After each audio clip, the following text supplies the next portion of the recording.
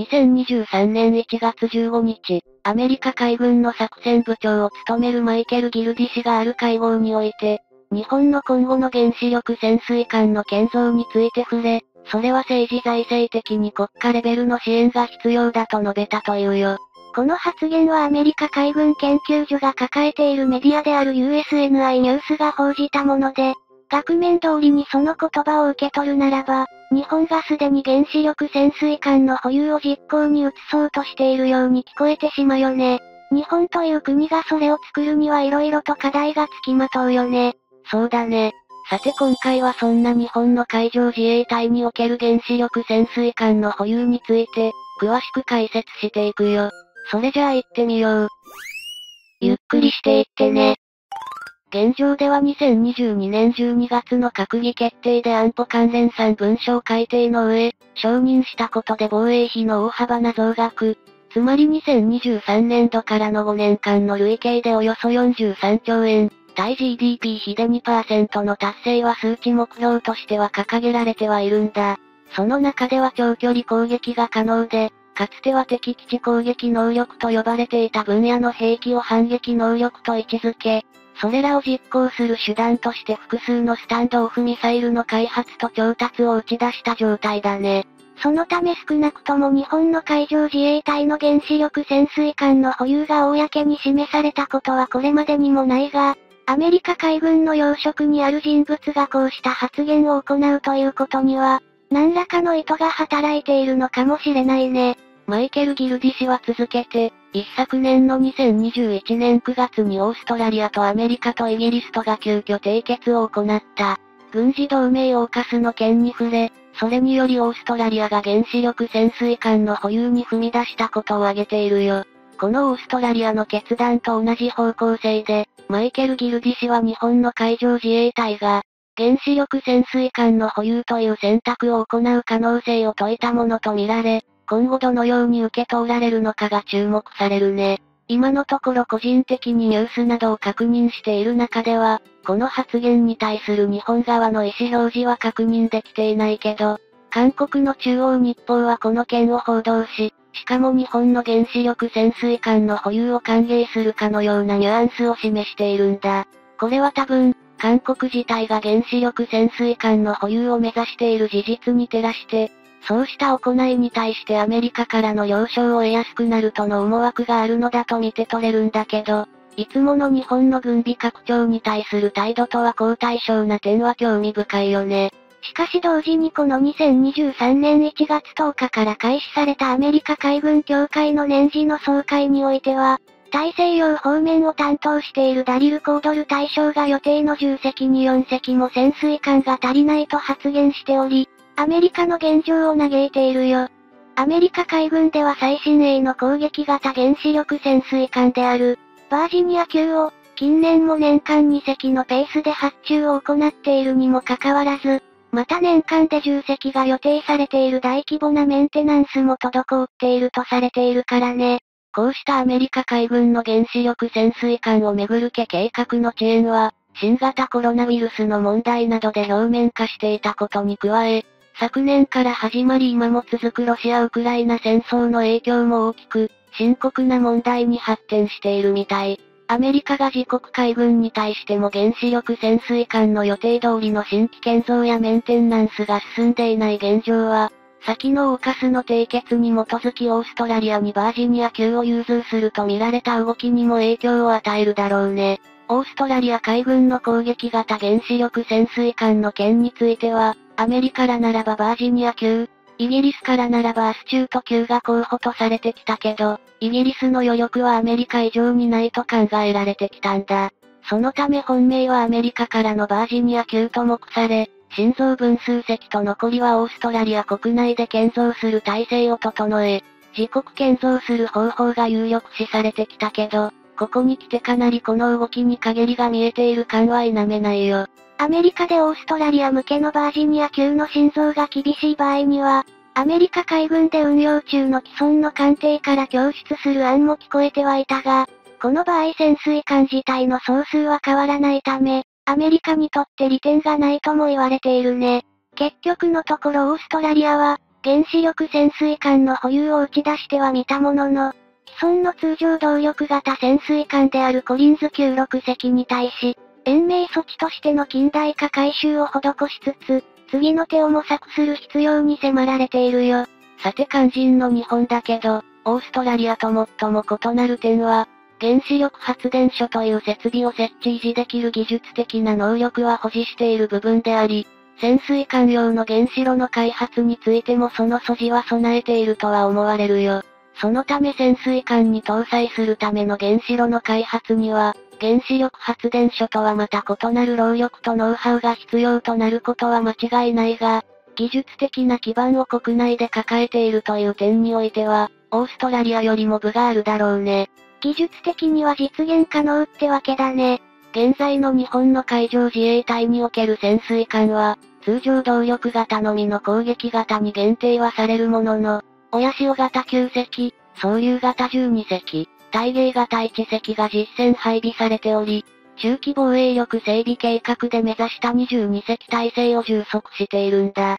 例えばイギリス海軍であれば攻撃型潜水艦もすべて原子力潜水艦で統一しているものの、トラファルガー9 1隻と最新鋭のアスチュート9が6隻の合計7隻の保有にとどまり、数の面では日本よりもはるかに少ないね。これはフランスでも同様であり、同国も攻撃型潜水艦は原子力推進のみだけど、収益中であるのは指級が6隻、最新型のシフラン級がようやく昨年2022年6月に収益、イギリスと同様に7隻の体制を構築しているよ。日本の場合、四方を広い領海で囲まれてはいるものの最大の仮想敵国である。中国ロシア北朝鮮とは比較的近距離にあり、通常動力型よりもはるかに行動半径や連続先行時間が長大で、速度も速い原子力潜水艦の特性が必須かは考える必要はあるね。何より海上自衛隊の潜水艦の場合、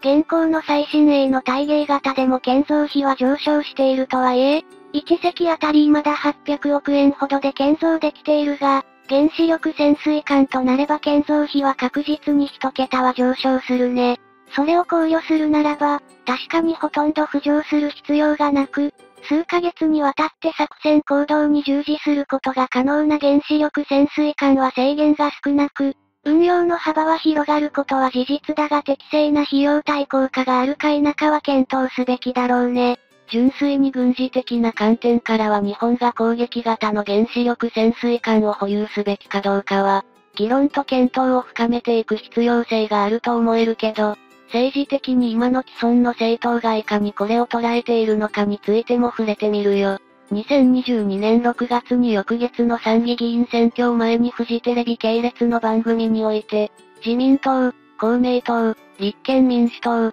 日本維新の会、共産党、国民民主党、令和新選組、社民党、NHK 党の9党の党首が参加した討論が行われたんだ。ここで番組側から日本は今後原子力潜水艦を保有すべきかどうかという質問が投げかけられたけど、それに賛同の意を示したのは日本維新の会、国民民主党、NHK 党の3党であり、与党の自民党や公明党は慎重な姿勢を崩さなかったみたい。逆にはっきりと日本の原子力潜水艦の保有に反対の意を示したのは、立憲民主党、共産党、令和新選組、社民党の4党であり、その姿勢はあえて聞くまでもなく最初から予想できたというのが偽らざる心境だよね。2022年の参議院議員選挙の結果を挙げるまでもなく、これら立憲民主党、共産党、令和新選組、社民党ら4党が民主主義に照らして、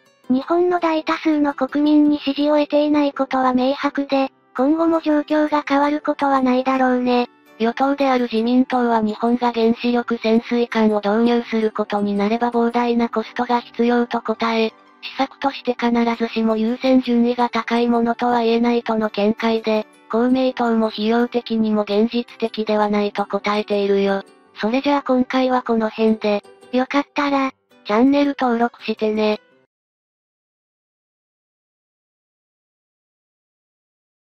本周辺国が日本本土を攻撃できる弾道ミサイルは質量ともに多数存在しており、弾道ミサイル防衛能力の向上は喫緊の課題となっているよな。北朝鮮や中国、ロシア、日本は大きな軍事力を持った国々との間に問題を抱えているもんね。防衛省は弾道ミサイル攻撃から国民の生命財産を24時間365日守り抜くための能力を、抜本的に向上させることが可能であるとしてイージス・アショア2機を導入すると2017年に決定したよ。さて今回は、次期最大級護衛艦イージスシステム搭載艦について、詳しく解説していくよ。それじゃあ行ってみよう。ゆっくりしていってね。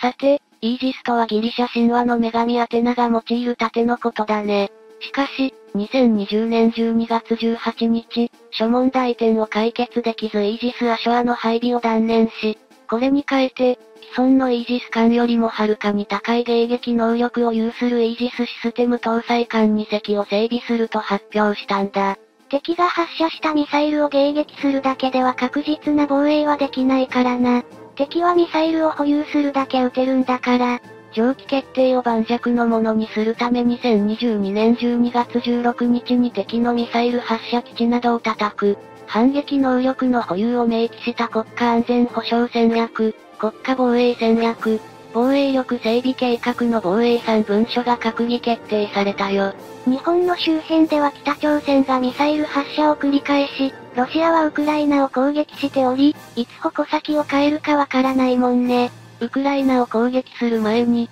日本を攻撃する案もあったと報道されているほどだし、中国の軍事力の整備は特に進んでいて、日本は最悪の事態も見据え、迎撃だけの防衛から反撃能力を保有する防衛へと、安全保障政策を大きく転換したってわけだな。反撃とは、敵が日本を攻撃したその手段を叩き潰して、再度の攻撃を阻止することだね。敵の攻撃を理由に敵地攻撃をすることではないから、限定目標の攻撃になり、攻撃してきた敵の手段に反撃する手段は、対ミサイル攻撃、対電子戦、対艦攻撃、対空攻撃、対地攻撃、将来的には対衛星攻撃に発展すると思うよ。対電子戦、対艦攻撃、対空攻撃、対地攻撃、対衛星攻撃についてはそれぞれの専門部隊が実施すべきで、イージスシステム搭載艦は飛来するミサイルの迎撃とミサイル発射母体に対する反撃を専門に実施する護衛艦であるべきなんだ。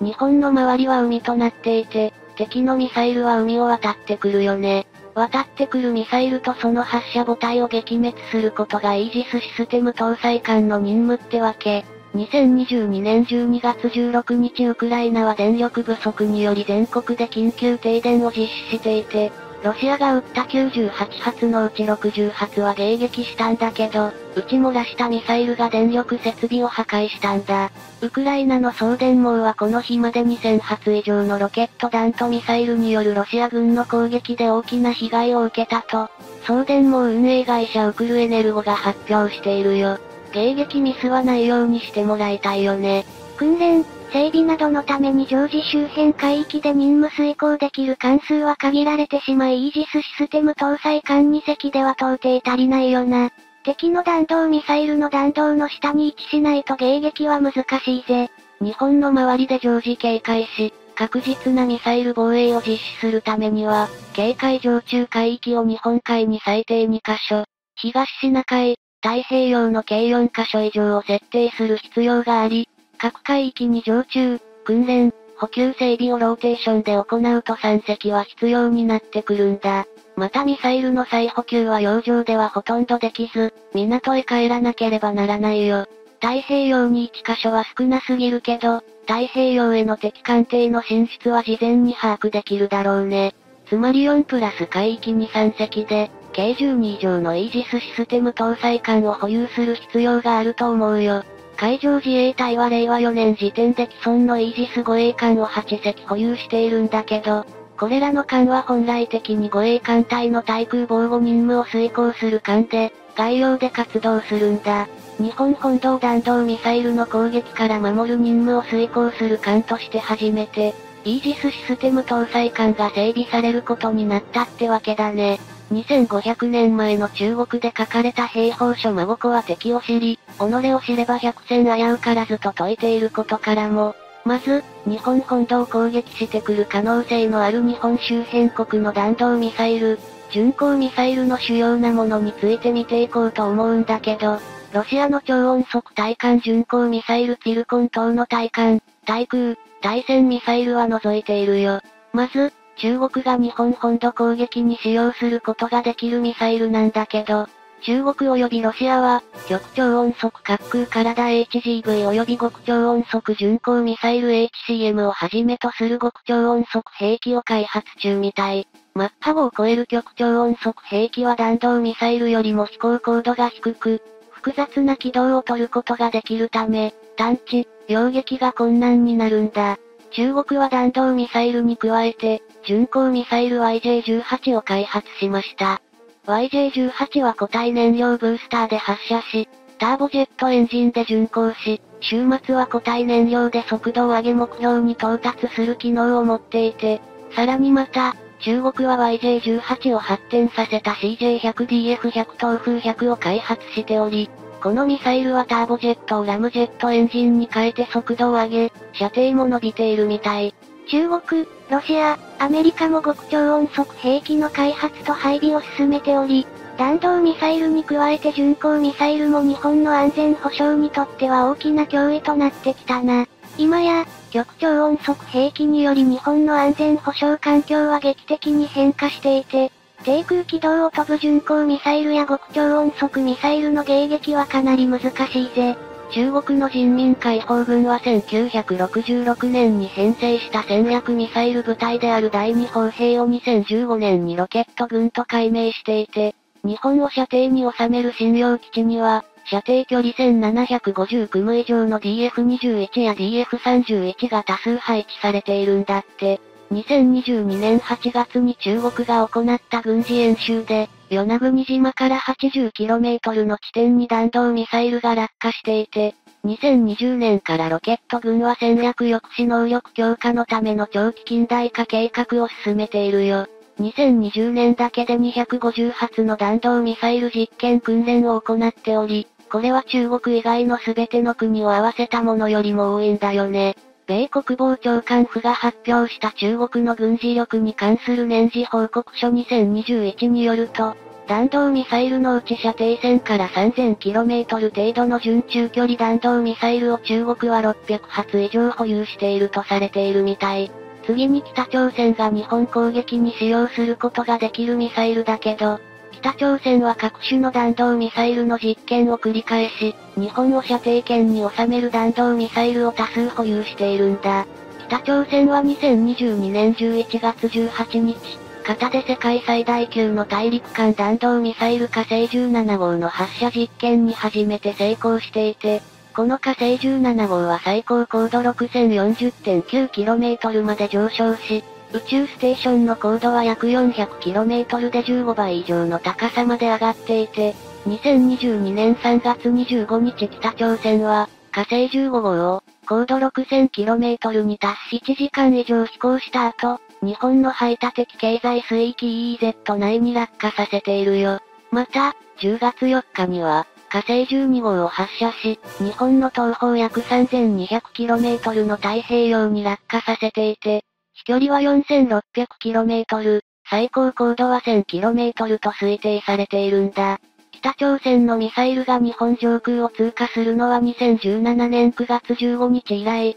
5年ぶりで7回目となっていて、北朝鮮の技術が一層進んでいることが伺われるよ。次にロシアが日本攻撃に使用することができるミサイルだけど、ロシアは多種類のミサイルを製造しているね。中でもカリブルは今後数年間、ロシアの長距離攻撃の主力となると言われており、陸上攻撃型は諸情報を総合すると、米国のトマホークに近い性能を持っているぜ。対艦攻撃型の終末弾道は超音速で、致命的な兵器となり得るな。また対戦型もあり、魚雷発射管から発射する対戦ミサイルのスタンダード版になるとされているよ。発射母体は地上の発射台付き車両 TEL、艦艇、航空機、潜水艦で、陸上攻撃型である 3M14T と 3M14KNAT を故障 SSN30A は、射程が最低でも 1500km を超え、かつ地形追傷も可能なんだって。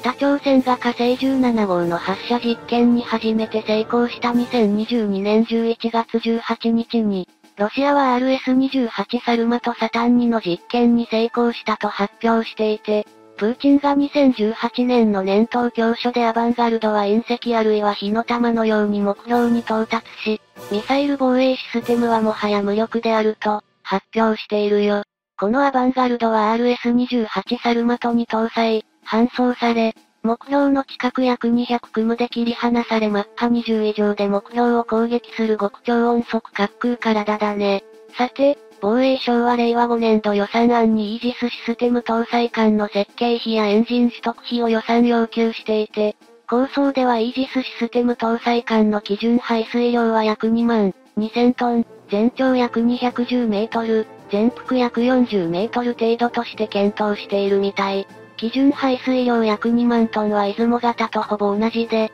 最新イージス艦マヤ型の2倍以上で、出雲より大きく、戦闘艦としては非常に大型の艦艇になる見込みだね。イージス・アショアで配備する予定だったベイロッキード・マーチン社製の大型レーダー SPY7 を転用する前提で、既存のイージス艦レーダーより重いため、重心のバランスを取る必要があり、船体が巨大化するとのことだよ。同省は船体の大型化で揺れを低減し、極超音速兵器への対処やレーザー兵器の機能を追加できる拡張性を備える利点があるとしているんだけど、この大きさでは速度が 33km 毎時18ノットしか出せず、他の護衛艦が 56km 毎時30ノットで行動するときついていけないし、護衛艦の足手まといになるんだよね。既存イージス艦8隻など他の自衛艦との連携や共同運用も当然できなければならないからな。イージスシステム搭載艦は陸上のレーダー施設とともに敵にとって最優先撃滅目標で、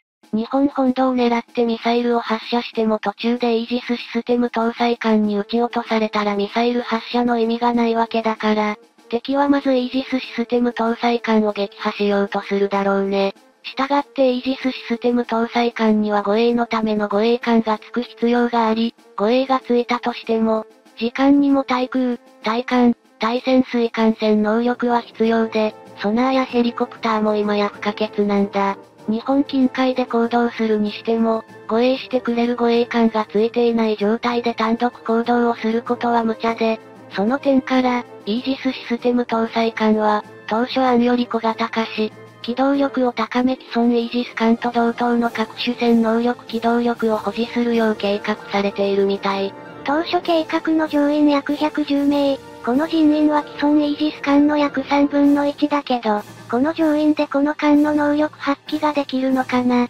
一部乗員は陸上自衛艦で構成され、艦船の維持運用に一部民間委託も検討されているらしく、長期防衛力整備計画に定められた陸上自衛隊から共同の部隊、海上自衛隊と航空自衛隊へ振り返される約2000人の定員はイージスシステム搭載艦要員にも当てるとの方針が示されているぜ。前述の防衛3文書のミサイル防衛に関連する部分を要約すると次のようになるよ。前述の防衛3文書のミサイル防衛に関連する部分を要約すると次のようになるよ。日頃から、相手国に力による一方的な現状変更は困難であると認識させ、侵略の意思を抱かせないようにする抑止力が必要である。侵攻を抑止する上で鍵となるのは、脅威圏外の離れた位置から対処を行えるスタンドオフ防衛能力等を活用した反撃能力であるよ。既存のミサイル防衛だけで完全に対応することは難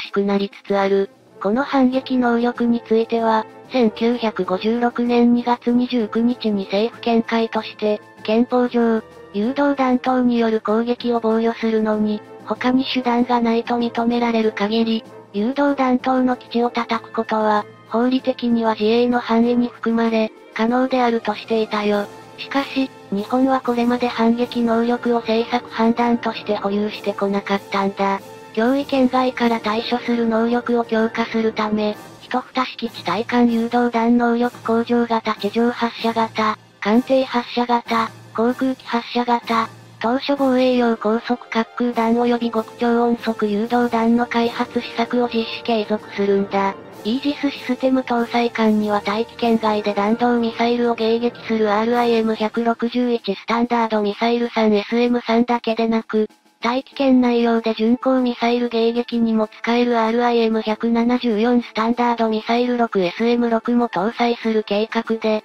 また反撃に使用する装備品として一蓋式対艦ミサイル能力向上型艦上発射型を搭載する方向なんだって。また既存イージス艦に搭載する米国製の巡航ミサイルトマホークの購入を目指しているみたい。火星17号を迎撃する場合を例にとると、弾道ミサイル迎撃用 SM3 ブロック 2A の迎撃最高高度が 1000km、最低高度が 70km とされていて、6000km から弾頭が誠空中を自由落下すると仮定すれば、高度 1000km から 70km は90秒となり、SM3 ブロック 2A は90秒間にミサイルを迎撃しなければならないんだ。反撃のために TEL を一蓋式対艦ミサイル能力向上型で攻撃するとすれば、TEL はミサイル発射後すぐに移動するから、ミサイルを発射した TEL を撃破するとなると非常に難しい任務だね。情報衛星や全国各地のレーダーが捉えた情報を集約するジャッジと呼ばれる自動警戒管制システムとの連携が不可欠だな。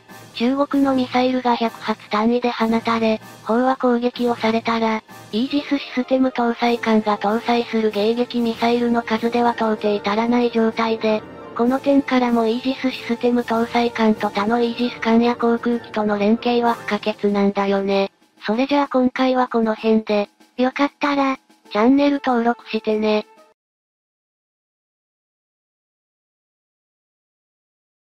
2022年12月21日、長崎県長崎市の三菱重工業者の長崎造船所において、昨年2021年6月に寄港されていた海上自衛隊向けの最上型護衛艦の6番艦が浸水を迎え、阿賀野と命名する式典が執り行われたよ。阿賀野の艦名は福島から新潟にかけて流れる、日本海に注ぐ一級河川の阿賀野川に由来するもので、太平洋戦争時に阿賀野型二等巡洋艦のネームシップとなって以来、海上自衛隊では初の使用となった名称だな。大日本帝国海軍時代の阿賀野は1942年に収益し、第三艦隊の中の第10戦隊の機関を務めたものの、1944年2月にトラック島の沖合でアメリカ海軍潜水艦の魚雷攻撃を受け、撃沈され艦命を終えた悲劇の艦でもあるんだよね。阿賀野型二等巡洋艦は1番艦である阿賀野以下、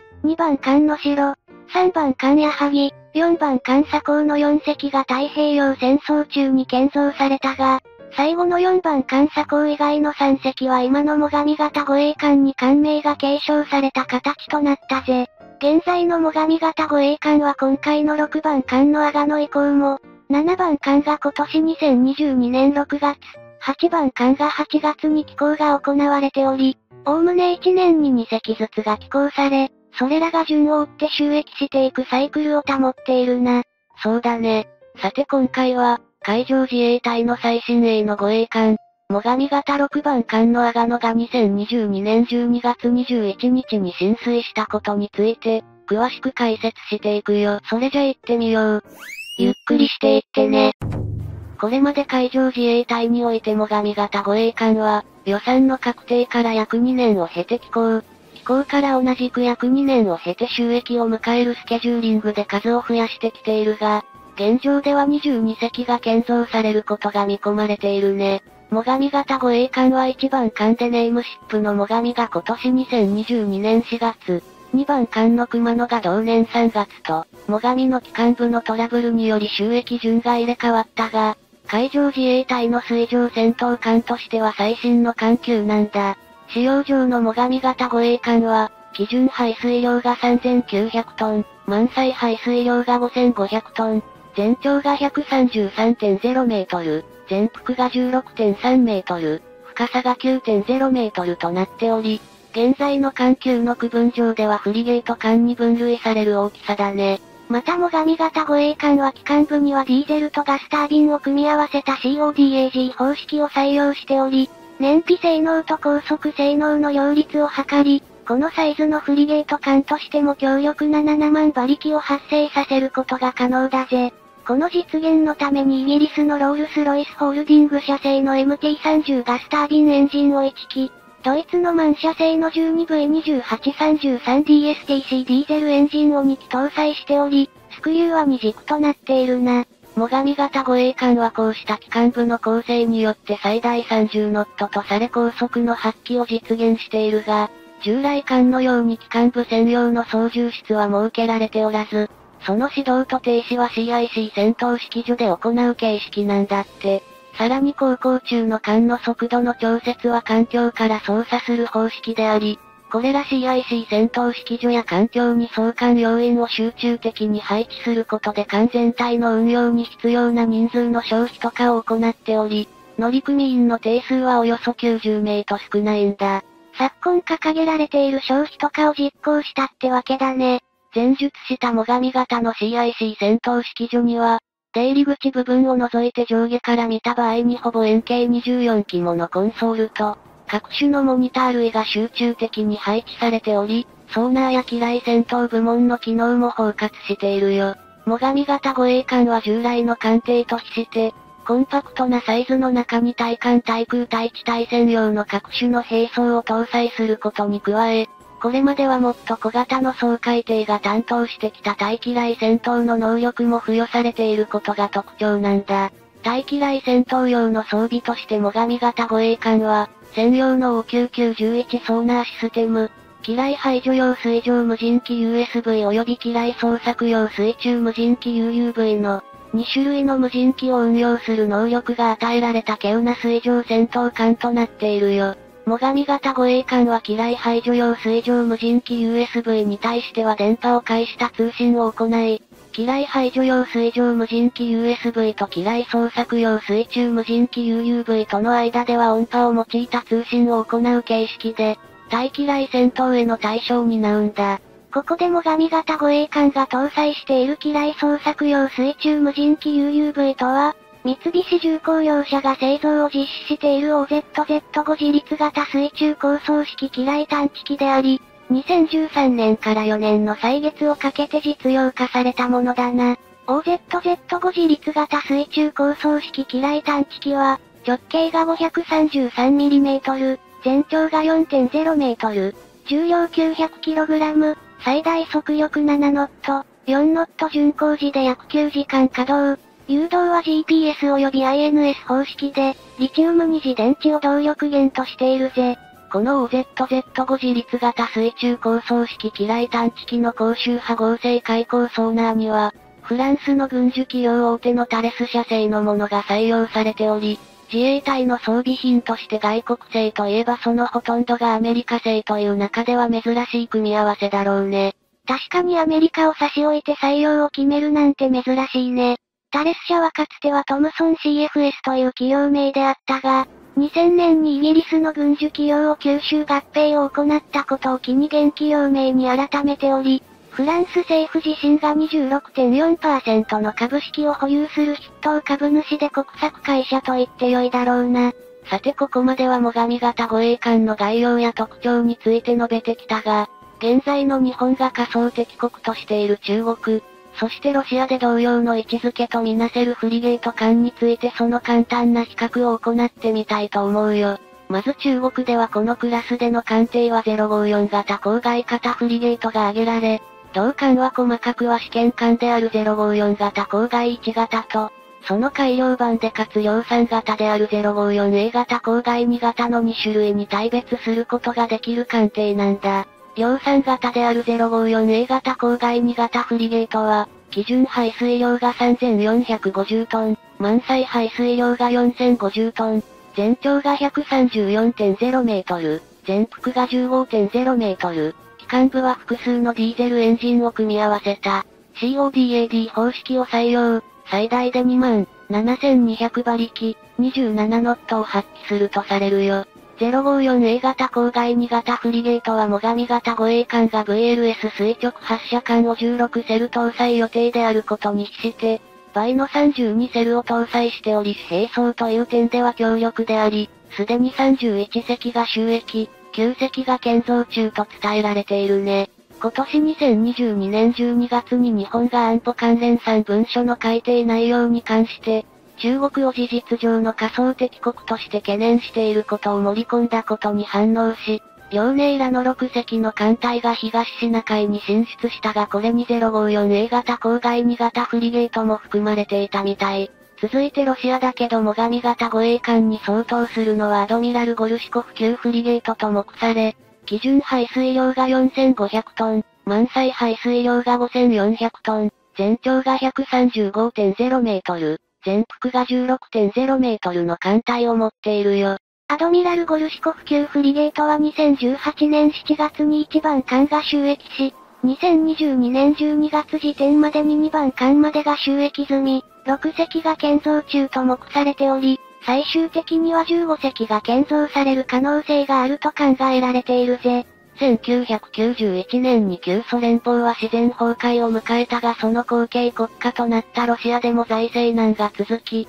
1990年代には海軍において大型の水上戦闘艦を建造する余力を完全になくしていたが、2000年以降の原油価格の高騰がその状況を変えたからね。世界的な原油価格の高騰は資源大国であるロシアに経済的な余裕を与える方向に作用し、そうした政治経済の流れの中で半ば偶然の産物とも言える悪運の強さで企画されたのが、アドミラル・ゴルシコフ級フリゲートだと言えると思うぜ。これをきっかけに、ロシアはさらに力を蓄えちゃったってわけだね。アドミラル・ゴルシコフ級フリゲートは最上型護衛艦と同様に機関部には CODAG 方式を採用。最大で5万5000馬力と30ノットを発揮し、兵装には 054A 型郊外2型フリゲートと同じく、32セルの VLS 垂直発射管を装備しているよ。それじゃあ今回はこの辺で、よかったら、チャンネル登録してね。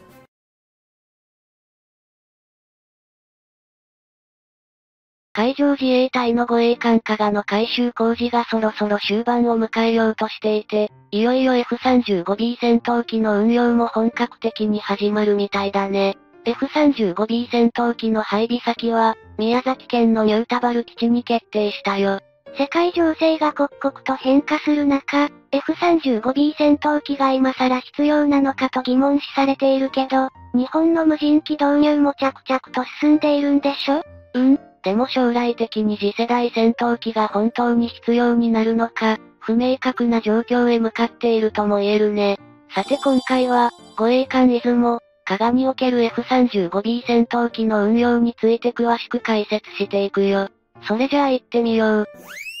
ゆっくりしていってね。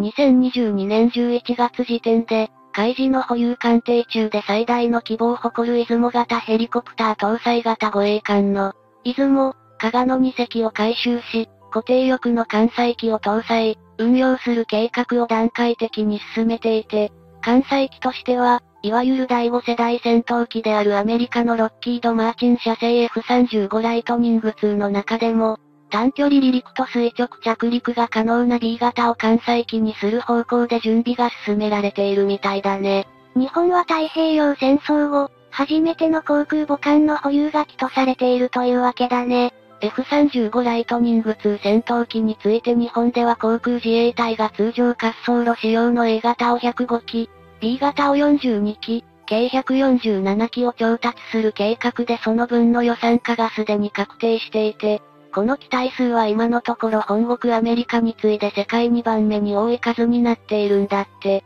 F35 ライトニング2に関しては、もともとが本国アメリカ以外では各種 F35 ライトニング2すべてを対象にしてカウントした場合でも、合計調達予定数が100機以上の国は日本とイギリスくらいしかないらしく、次に多いオーストラリアでも72機ということだよ。イギリスのケースだけど、クイーンエリザベス級航空母艦に2隻、その1番艦でネームシップのクイーンエリザベスと、2番艦プリンス・オブ・ウェールズの艦載機として B 型のみが調達されているんだ。2015年前後にイギリスは F35 ライトニング 2B 型の調達予定数をマックス138機ほどを計画していたみたいだけど、最近は高価なこの機体の調達にストップがかかり、数を大幅に減らした48機とする可能性が現実味を帯びてきていると言われているよ。このようなイギリスのような当初計画からの方針転換は、ヨーロッパの西側諸国にとっては程度の差はあるけど、似たような状況とされ、この転換の背後にはコストの問題だけでなく、今後ヨーロッパで従来のような形の戦争が起きる可能性は限りなく低いという判断があったとみられるね。だからこそイギリスを含む多くのヨーロッパ西側諸国においては、ロシアこそ最大の仮想敵国という方針に変更はなかったものの、従来のような戦闘機、艦艇、戦車、火砲などの兵器数を削減する傾向が顕著だったわけだね。しかし2022年2月、状況は一変しているね。そうだね。ご存知のように2月24日、ロシアが突然ウクライナへの軍事侵攻を開始し、戦争は未だに終わりが見えない状態だよ。ロシアのウクライナ侵攻により、地理的にもロシアに近い旧東欧諸国のポーランド島を筆頭に、陸上戦力について大幅な増強を始めた国も出始めるようになったよね。ロシア・ウクライナ戦争の世紀という非常事態の発生を受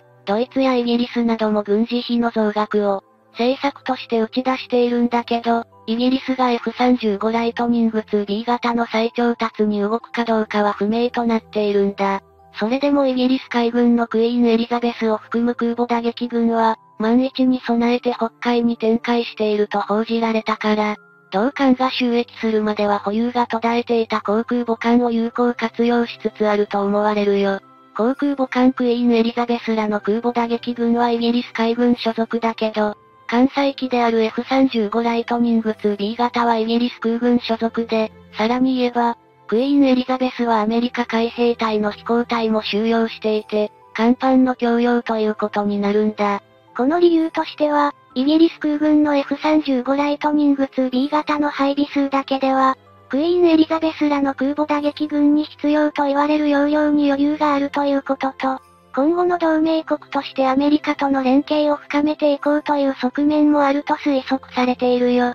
当然アメリカの強襲揚陸艦でも F35 ライトニング 2B 型を艦載機とする運用が進められているが、アメリカは艦艇は海軍、艦載機は海兵隊と所属する組織が別で、このことが F35 ライトニング2機の性質を物語るものということだろうね。イギリスやアメリカでの F35 ライトニング 2B 型の運用方式と同様の方法が日本でも行われる予定で、出雲型護衛艦は海上自衛隊、F35 ライトニング 2B 型は航空自衛隊所属ということでの準備が進められているよ。このような運用体制については危ういのではないかという意見があるみたいだね。というのは、海事は今まで敵潜水艦への対戦紹介を中心とした任務を想定していたはずだし、空自は対艦攻撃を主眼に置くわけだから、この二つの想定が相入れないのではないかという不安ってわけだね。アメリカ軍であればワスプ級やアメリカ級といった強襲揚陸艦に艦載機と F35 ライトニング 2B 型を用いることだけでなく、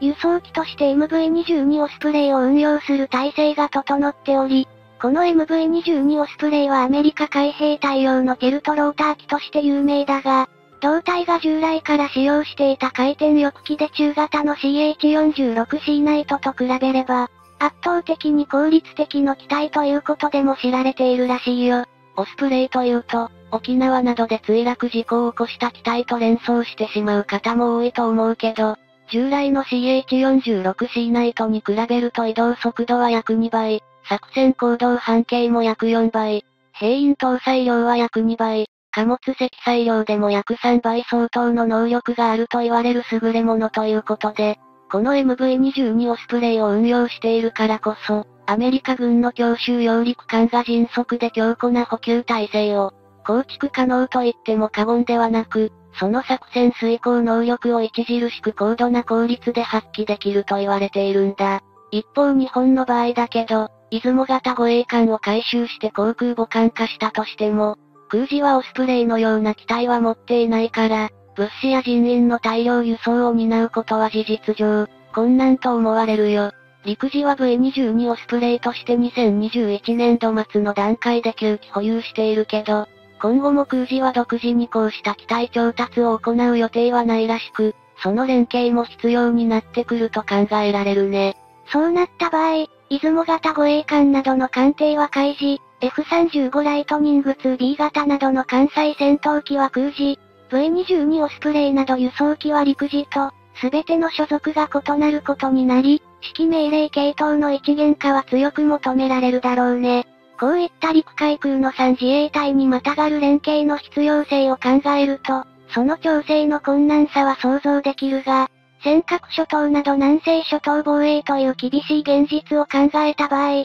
どうしても横断的運用の実現は喫緊の課題だと思う。ただしあくまでも試験だが、まさに航空母艦化改修中の出雲型護衛艦2隻と、関西機である F35 ライトニング 2B 型に、運用に関してあまり多くのものを要求するのは酷ではないかとも思うね。出雲型護衛艦は2009年平成21年8月末に提出された次年度の防衛予算概算要求で建造が計画され、開示としては初めての固定翼機運用も視野に入れながら設計されてきたもので、簡単に言えば実験艦という役割が大きいもんね。前年の2008年時点で出雲型護衛艦には、海事内部では F35 ライトニング 2B 型を艦載機として、運用する能力を視野に入れていたと言われるけど、当時の時代背景では、政治的にも日本が航空母艦を保有することはタブーとされていたんだ。だから海上自衛隊独断でこうした決定を下せるわけではなく、将来的な F35 ライトニング 2B 型の、関西機化を考えながら重量や大きさに対処できるエレベーターや飛行甲板の使用を盛り込んだということは評価すべきと思うよ。出雲型護衛艦は航空母艦化改修が終わったとしても、F35 ライトニングの艦内への収容数は10機プラスアルファとされるので、決して多くはなく、しかし固定翼機を運用する艦艇のテストケースと考えると、致し方ないとも感じられるよね。それじゃあ今回はこの辺で、よかったら、チャンネル登録してね。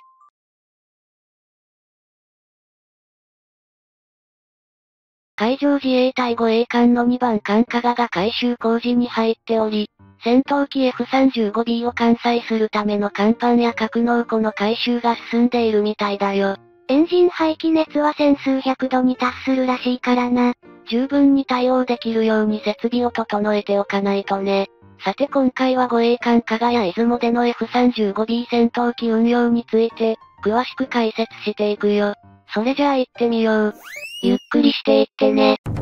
日本の海上自衛隊に2022年現在、収益中の艦艇中で最大の希望を誇るのが、複数のヘリコプターを搭載できる護衛艦出雲型の1番艦出雲、2番艦加賀の洋艦で、敵の潜水艦、水上艦艇、航空機による脅威に対処する能力を備えており、防衛に重要な役割を担っていて、海外メディアでは艦種はヘリ空母として扱っているよ。世界の海軍でコルベット小規模の軍艦と呼ばれるような大きさの艦艇から、こうした出雲型のような艦艇までを総括して海上自衛隊では護衛艦と呼んでいるんだけど、出雲型には DDH という艦式号がついているんだ。DDH について詳しく。DDH は海上自衛隊においてヘリコプター搭載型の護衛艦を指し示す艦式号で、イージス護衛艦は DDG、汎用護衛艦は DD、最新鋭の最上方は FFM などその艦艇の用途と性格を表す英語表記に準じて付けられた記号だと考えられるよ。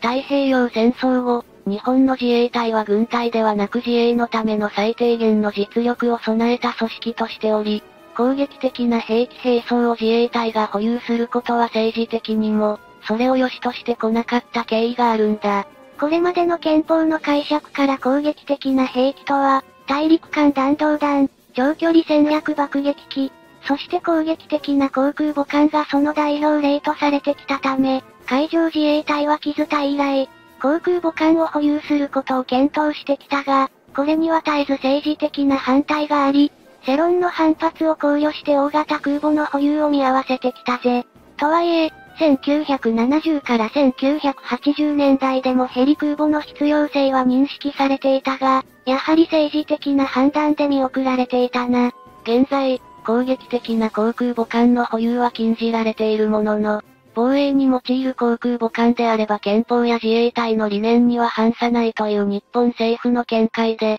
正直なところ複雑ってわけ。しかし出雲型護衛艦2隻に出雲をほぼ原型のまま活用し、垂直離着陸できる固定翼機である F35 ライトニング 2B 型を艦載機とする改修を施すことは、ついに実現した海上自衛隊の航空母艦か。まあこれまでの経緯を踏まえればここまで踏み込むことができたことは時代の変遷と言えるんじゃないかな。出雲型護衛艦の登場が二昔ほど以前であれば、その航空母艦化を問題視する風潮は今よりはるかに大きく、マスメディアや野党から、大きな議論を呼んだ可能性が高かっただろうしな。出雲型護衛艦の航空母艦化がそうした言説によって妨げられなかったのは、近年の日本の置かれた安全保障環境が尖閣諸島をはじめとする南西諸島への中国の進出に対し、多くの国民が危機意識を抱いていることの表れだと言えるかもしれないね。中国への危機感を国民も持ち始めたのは良いことだよね。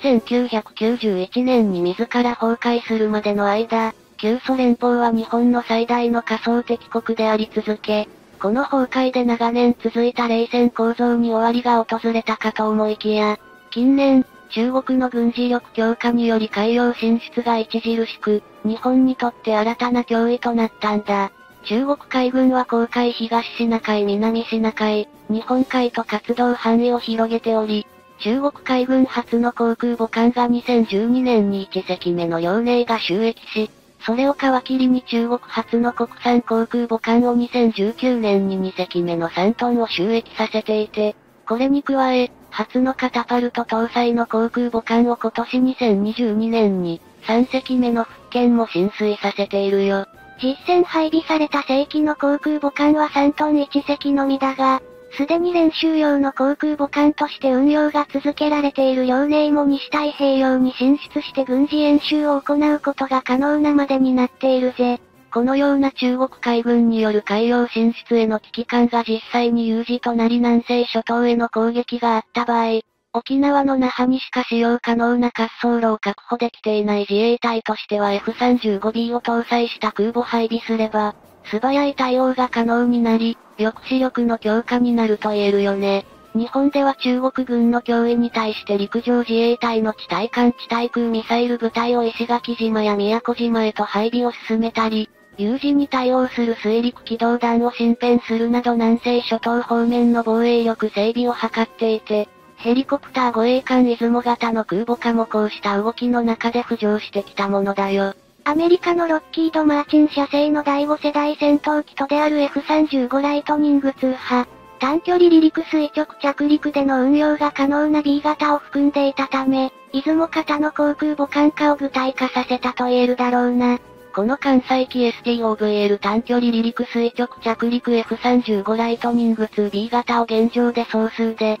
42機調達する計画が予定されており通常時には宮崎県のニュータバル基地に駐機される予定の同機は、必要に応じて航空母艦化された出雲型に艦載されるとのことで、2024年度からの配備が予定されているんだ。出雲型護衛艦は一番艦の出雲から先に航空母艦化の改修工事が始まっており、こちらは2020年3月から2021年6月までに回収の第1弾を終え10月には米海兵隊の F35B を発着艦させる検証を終えているよ。出雲の第1段階の回収工事は艦形を変えるものではなく、これまで回転翼機のみを運用する仕様となっていた本艦を艦載機となる。垂直着陸可能な F35 ライトニング 2B 型が着艦するときに下方へ噴出する千数百度にもなると言われる。エンジン排気熱から飛行甲板を保護するための耐熱強化を中心とした改修工事のほか、電源設備の設置などのインフラ整備を整えた工事が行われ、甲板にはアメリカ海軍の規定に準拠した F35B 離着陸用の黄色のセンターラインが引かれるなど、外見の変化が見られたね。これに加えて出雲では F35 ライトニング2を全天候の環境下でも安全に着艦させるための誘導装置の搭載も行われており、これらの改修工事を終えた出雲は現在、通常の任務を行っているな。その他、出雲の第2段階の改修工事は2024年度末から行われると見られており、そこで艦を上空から見ると先端が細く絞られた形式の台形状の飛行甲板は、スクエアな四角形状の形状へと拡幅される監視形状の変更工事が決まっているよ。現状、基本的に垂直離陸着陸のみを行う回転翼機では不要であった拡幅後の滑走スペースを、短距離離陸が必要となる F35 ライトニング 2B 用に確保するために、